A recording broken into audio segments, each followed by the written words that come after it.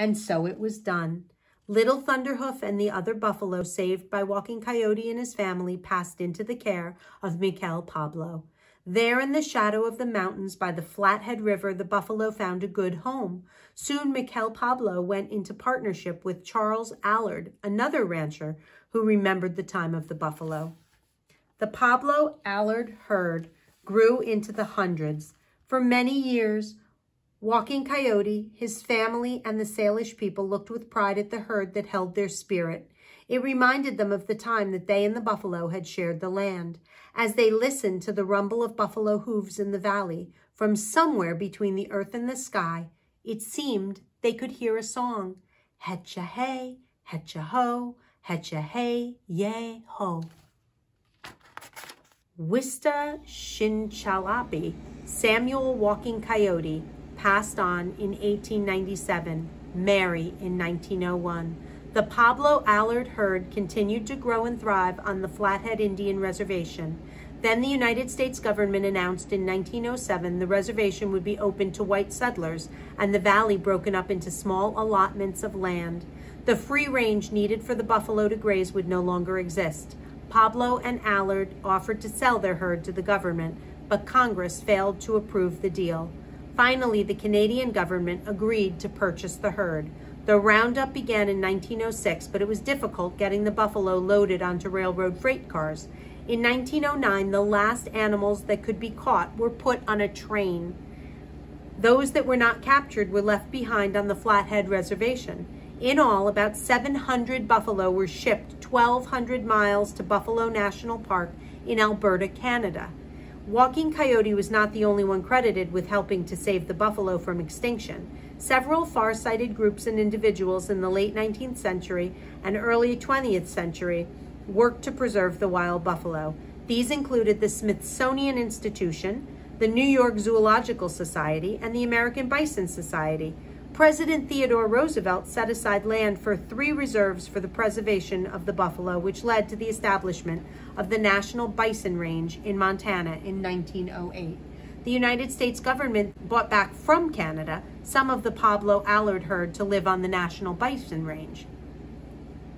Today, the buffalo are no longer endangered. Descendants of Walking Coyote's, orphans, and the Pablo Allard herd can be found in many protected natural areas in the United States. In addition to the National Bison Range, these include Yellowstone National Park in Wyoming, Wichita Mountains Wildlife Refuge in Oklahoma, Sully's Hill National Game Preserve in North Dakota, and Neal Smith National Wildlife Refuge in Iowa. In fact, thanks to Walking Coyote and all the others who labored to save the buffalo, there are now free roaming and ranched herds of varying sizes in almost every state and on many American Indian reservations. The commercial bison industry started in the late 1950s and began to grow rapidly in the 1980s when demand increased for buffalo meat as a tasty and healthy alternative to beef. Current estimates place the size of the total uh, United States herd at about 250,000 animals. Although the great herds of yesterday will never again roam across North America, the buffalo are now abundant enough to ensure the continued well-being of this important spiritual and cultural American symbol for generations to come. And that is the story. So this is a real thing that happened, but a lot of the story was told from person to person to person, which makes it a different kind of American folklore. This is a Native American folk tale that they tell about one family who helped to save all the buffalo. There may not have been any if this had not happened, according to Native American legend. I hope you enjoyed Buffalo Song. A challenge for you today. This song that calmed the buffalo down. Hetcha hey, hetcha ho, hetcha hey, yay ho. I would love to see if you can come up with your own song that could calm down a buffalo and make it go to sleep at night. Can you come up with a lullaby? Either write it down and send it to me or film yourself singing it. I would love to see if you decide to accept the challenge. I hope you enjoyed Buffalo Song. This was the last of our American folk tales. Can you think of some things that were the same about some of them? John Henry, born with a hammer in his hand, or Paul Bunyan, who grew to be the size of tall buildings basically by the time he was a few years old, or um, Davy Crockett, who sailed on who sailed on a sea serpent.